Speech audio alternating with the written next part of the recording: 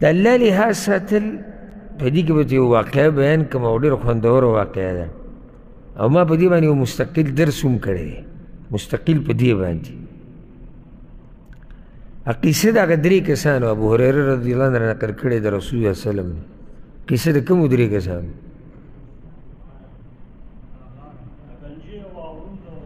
بارک الله فیک درې کسان ګوره حدیثونو کې ګوره په یوسو ځایونو کې درې کسان واقع راغلی دا درې داریک تاسو وایي چې غار کې چې ختي خو مناسب د موقع مناسب ماشاءالله دې ملګري ورته سوچ لاړ او هغه د برګي مرض والا او ګنجې او ډول رسول صلی الله علیه وسلم وی اراد الله ان یبتلیهم الله په دوی امتحان راوستو دې دغه کېږي د بني اسرائیلو کې فبعث الیهم ملکا والله یو ملائکو کې یو ملک راولېږو خو د انسان په شکل کې دوی نه پیژند نو اول هغه په ابرس پسې ورغی هغه چا باندې چې برګې مرض نو دوی ته ستا څه شی خوښ دی هغه ته څه شی مې خوښ دی خو لون حسن و جلد حسن ښایسته رنګ او ښایسته سرمن نو هغه په لاس راخ کو دنو د څه د لاسې چې خلکو دنه کرکه کوله هغه ترې ختم شو الله وله ښایسته رنګ ورکړو بیا ورته یې چې په مال کې دې کم مال خوښ دی نو هغه ورته یې اوښان مې ډېر خوښ دي نو فاعطي ناقة عشرا نو اوښان وله ورکړی شو او هغه هم د لسو میاشتو بلار به او ته وی بارک الله لک فیها اوښه ورته میلاو شوه هغه هم بلار به او دعا یې ورته هم وکړه ولاړ او سړی خم شو لاړ په هغه ګنجي پسې فاتل اقرا وی څه شی دې خوښ چا کو وی شعر حسن نن سبا پسې خلک لیوني دي اپریشنونه او رنګونه او مشورې او تپوسونه او دا ګیره به داسې صفا ووایي د نایي په چاپ کې پرېږدي چې تپوس یې مه کوه خو دا غم ورسره دی ښه بعضو سره څه غم دی لکه ویښتې ښه برابرې دي خو دې ځي کې لږ کم شوي دي لږ نو دا غم ورسره دی چې لکه دلته لږ معمولي کم شوي دي هر سړی دا غواړي چې ویښته زما ښایسته وي دا زه هم غواړم ته هم غواړي خو ډېر اهتمام کول دا د زنانو عادت دی ډیر اهتمام کول دا د زنانو د تا د سړو اهتمام دغه حده پورې دی منګزي پکې وواله تیل پې ولګول کله نا کله چې ښي ښه شیمپو یې وله راوړو څه خبره نه ده غواړي دا چې ویښته یې مزداري نه ولیږي دا د انسان فطرت دی خوښوي خو د دې نه اخوا اهتمام او د دې په باره کې سهار ماښام ټول غم نو دا عدد ته چا دی عدد ته ښځو دی ها عدد ته سړو څه دی د ګیرې ډېر اهتمام کوی ځکه چې دا په دې باندې ته مخامخ کېږي سړي ته واجهه کې څه راځي ته چې سړي سره ملاو شي اول چې په تا نظر ولګي څه یې نه په ګیره نظر پریوزي کنه دغه ټوله اصل موضوع د بنیادی د دې اهتمام نو دلته اوس دا د ملک په ملایکو کې چې راغلی د هغه ویستا څه شي خو د هغه ویښته مې خو تر ښایسته ویښته خو د دې سي ګنجې نه دی د هغه مرض چې هغه چې بلکل په ویښته نه وي یو داسې هغه پیدایشي چې په سرې یو ویښته هم ویلا سی براخ کو دو بس الله داغه نه هغه سلری کړو د سد لاسي چې د خلکو بدی شو خسته ویخته او ته میلاو شو به او تی په مال کې د سی شی ډیر خوخته وي واګانې مې ډېرې خوښې دي فاعطي بقره حامله غوی ولا ورکړه او غم بلار او به دعا وکړه چې الله دې بګي برکت واچي لړ پړون پسی وستا سی چې وخت هغه زما ته کو خو دې چې الله زما د نظر ما لراکی او زه داخله کړم صلی الله علیه نظر ورکو به دې کم مال دې ډیر خوښته وي زما دا ګړي ویزې ډیر خوښې دي فاعطي شاتن والده یو ګړه بلاربه او ته ملاو شو فأنتج هذاني وولد هذا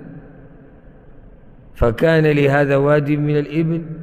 ولهذا واد من البقر ولهذا واد من الغنم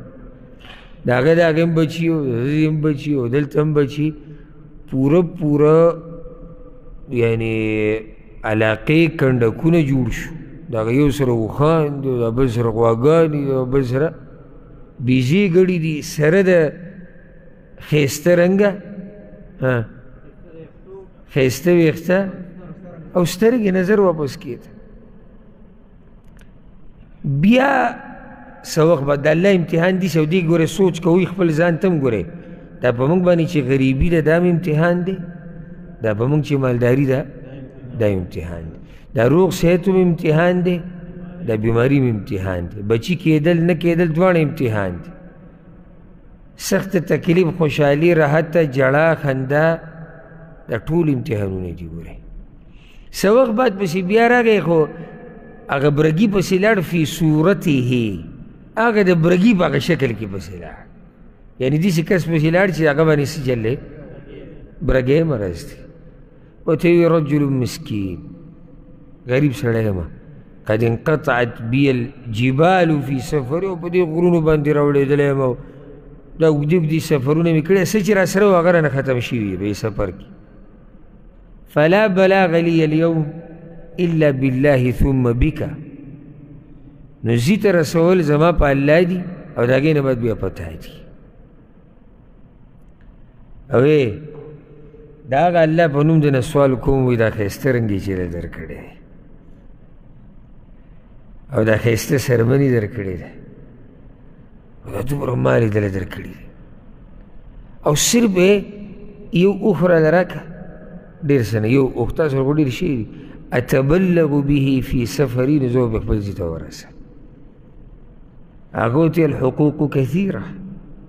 په موږ باندې خلکو ډېر حقونه دي یوازې ته خو نه دا ډېره ګډه وډه خبره ده چې سړی غریب ته کوي نه ورکې نه ورکوه سړی ښایسته جواب ورکوي زه الله دې مل شه الله دې ستا مرسته وکړي فی الحال ما سره نشتی بیا ما ته څه مسله ده زمونږ ته ځانله واړه ناستې ده کافر واړه دی پښتنو خبره څه موخان دي مړیږي نه بلکل چې دی دومره نه پارغه کېږي چې یو لس روپۍ یو غریب له ورکړي یو پنځوس روپۍ بل چا له ورکړي دغه پرېږده غریب له ورکه په ځارې غریب دی جي لګولی ته به وایي چې سهار ماښام د ده ښځه او بچي څه کوي شپن وایي بس سهار ماښام شپن وایي او د مار په شان خوله وازه کړي او دی ورته وراچي او دی ورته وراچي دا منګه کیسه دومره ګرانه کړې ده دومره ګرانه نه ده ګورې دومره ګرانه نه ده خو ما تا لږ لږ نه هیرس هم د حد نه زیات کړی دی که نور حالت الحمدلله ښه برابر دي او کم نعمتونه چې الله موږ لره کړي دی ډېرو بندګانو له نه دي ورکړي او دې حقوق یې ډېر دي او دغه هغه ورته یې وویل که اني اعرفک داسې ښکاري لکه زه چې تا پېژنم دی ګورې د سپکو د اصیل هم دلته پته لګي وي زه دې پېژنم ته هغه برګې نه یې خلکو چې به دله کرکه کوله او فقیرا غریب سړی وي او الله دله د هر څه درکړو هغه ته نه نه وي خطا شوی انما ورثت هذا المال کابرا عن کابر دا مال خو ماته د نیکونو نه پاتې شوی دی څه به کوم ځای کې لګیا او برګی یې چا ته ووایي دا لحاظ د الله نشته ها یعنې ولې هغه الله تا ته نه ګوري کوم الله چې ته برګی پیدا کړی وي بیا یې دله ښایسته رنګ درکړو خو اوس هم ستا دا خبرې اوري دا مال یې درک او دی وایي نه دا د پلار نیکه طرف نه دی دا قصه مې دې دپاره بیانول الله لحاظ یې ونه کړو هغه ته ان كنت كاذبا کته دروغجن فسيرك الله الى ما كنت الله جل زور حال ته بیا راول بیا پاک گنجی بسی ورغه وقت صورت کی حق شان ورته ووي او هغه ول حق شان جواب ورکو چې دا تودې د ویښته خو زموږ د پوخانه داسې مزدار دي مال زموږ پلار نیکه مالدار خلکو جیداد والا و هغو نه موږ ته پاتې شوی دی او په موږ باندې ځان له ډېر حقونه دي ته پکې لاوې ماله پکې وغواره کړه نو هغه ورته ان كنت کاذبا فصيرك الله الى ما كنت که ته دروغجن نو الله دې حق شان کړه پغړون په سیور هغه ما کړهغه په شکل کې نو ته رجل مسکین و ابن سبیل غریب میم او مسافر میم دو مسلې دي او انقطعت بي الحبال في سفري او په ما باندې چې دی نو د سفر چې څه اسباب را سره او سره سره هغه ټول رانه ګډوډ شوي دي ختم شوي دي نو په الله به شي او په تا به شي الله به شي بیا به په تا شي زما رسول هغه الله په نوم درنه سوال کوم چې دا سترګې درله درکړي دي غواړم درنه شاتن اتبلغ بها فی سفري یو ګډه چې زه پې بیا خپل ځي ته ورسم نو هغه ته یې خبرې ته غوږ کېده قد كنت اعمى فرد الله الي بصري ته چې زما د سترګې نه ګورې زړونو مې مخکې دا خو الله د سترګې راکړي د مال فخذ ما شئت ودع ما شئت او ګډه ګډه نه دا مال چې څومره ټول الله را کړی زه غریب فقیر سړی وم چې څه دې زړه غواړي هغه ترې واله او چې کوم دې نه خوښ هغه پرېږده فوالله ما اجهدك اليوم بشيء اخذته لله عز وجل نن زما زما دی په الله باندې قسمی چې د کوم رب نوم دې راته اخیستی دی که نه چې زه دې نن د سره نه منع کوم چې څه دې خوښ یې هغه بایلې او چې څومره دې خوښ یې هغه بایلې امال دې د الله زه ومه وایي زه ستا په شان هم مخکې دا د الله لحاظ ساتونکی اصیل مؤمن دی اوقات ورته خپل یاد دی خپل حقیقت ورته یاد دی چې زه کمزوری بنده د الله او لحاظ د الله وګوره چې الله معیني زه څنګه منکر شم د هغه رب د نعمتون نه چې هغه په هغه وخت کې مزریدم اوس مې میني او بیا به مې میني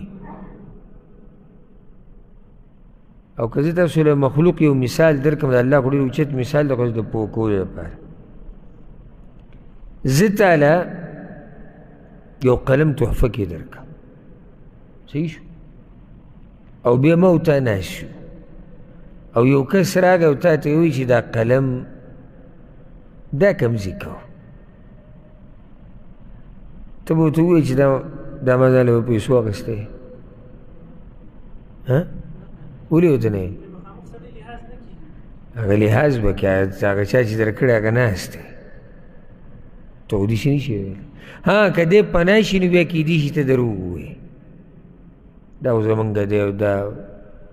خو بیا هم لحاظ دی ولو ساتو ځکه چې پناه شو نو دروغ دی وي چې مخامخ به یې نه وي رب العزت زمونږ نه کم ټیم کې پناه کیږي چې موږ منکر شو په یو وخت کې چیرې مثال اسی مثال دی یعنی د شپې الله رب العزت موږ نه ویني ولیعذ بالله چې یو سړی ووایي دا زه د شپې به موږ منکر شو چې دا څه چې دي د الله نه دي راکړي دا خو موږ ته پلار نیکه نه پاتې شي سهار به داسې نه وایو ځکه چې د الله به لحاظ ساتو ځکه چې الله موږ ویني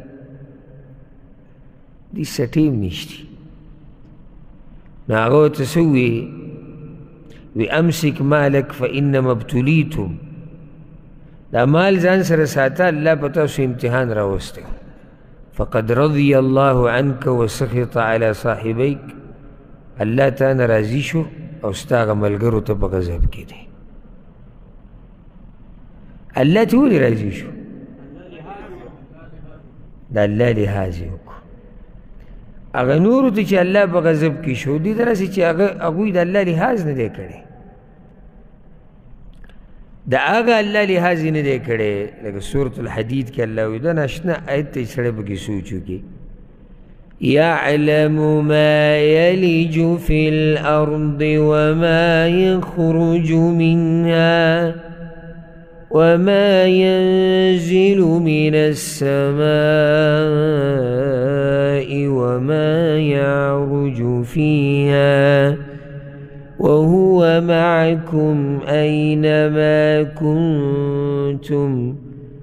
والله بما تعملون بصير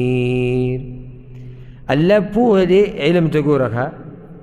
الله پوه دې په هغه څه چې د ځمکې ته ننوځي او په هغه څه چې د ځمکې نه راوځي په هغه څه پوه دی چې د اسمان نه راکوزیږي او په هغه څه پوه دی چې اسمان ته خیږي او تاسو سره دی چې تاسو هر ځي کې د علم په اعتبار سره د اورېدو لیدو